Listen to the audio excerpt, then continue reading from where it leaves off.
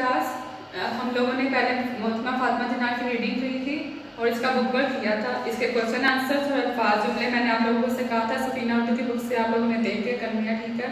जिस तरह नाद के और हम के किए थे, वैसे ही करने हैं। आज हम मादर मिजत मोहतमा फातमा जना का खुलासा करेंगे, ठीक है? खुलासा किसे कहते हैं? किसी भी इनवान को अपने अल्फाज में बयान करना उसे हम खुलासा कहते हैं, ठीक है? मरकजी ख्याल और खुलासा में फ़र्क यह है कि नज़र का मरकजी ख्याल होता है और सबक का खुलासा होता है। अब स्टार्ट करते हैं। मोहतरमा फातमा जीना इकतीस जुलाई अठारह सौ तिरानवे को कराची में पैदा हुई। वो कायदे आज़म से सतारह बरस छोटी थी। बरस किसे कहते हैं? साल को कहते हैं, ठीक है? मोहतरमा फातमा जीना की तालीम का आगाज़ तो कराची में ही हो चुका था। बम्बई पहुँच के वो कैनवर्ड स्कूल में दाखिल हो गई। 1910 में आपने मैट्रिक के इम्तिहान में इम्तियाजी नंबरों से कामयाबी हासिल की।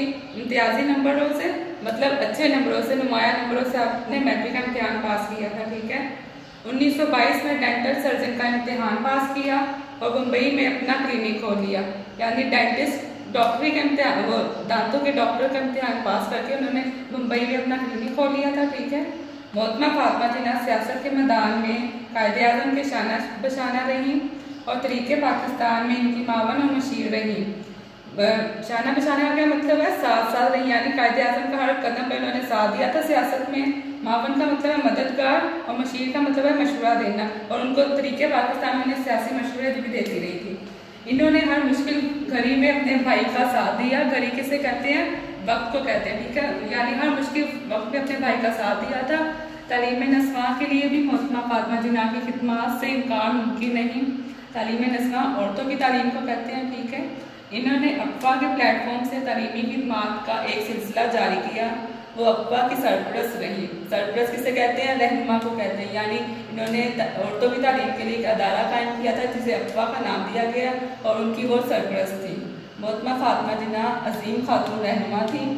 कौमी खदमात की हवाले से कौम ने इन्हें मादर मिलत यानी कौम की माँ का लकब दिया था।